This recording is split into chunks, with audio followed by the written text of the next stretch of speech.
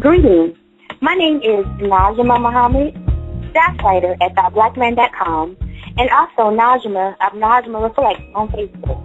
Please join me Sunday, January the 29th, as I'll be on the Wombman's Song Community Experience discussing the subject matter, Our Wombs Are Not Weapons.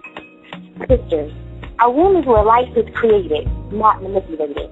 We have to learn how to choose more wisely about who we decide to reproduce and deal with the disappointment of a failed relationship and stop fashioning and forming children in our anger and bitterness. Again, please join me this Sunday, January the 29th, on the Wombman's Song Community Experience as we discuss the subject matter, Our Wombs Are Not Weapons. 7 p.m. Eastern Time, 6 p.m. Central Time, and 5 p.m. Mountain Time. Thank you and look forward to you joining in our discussion.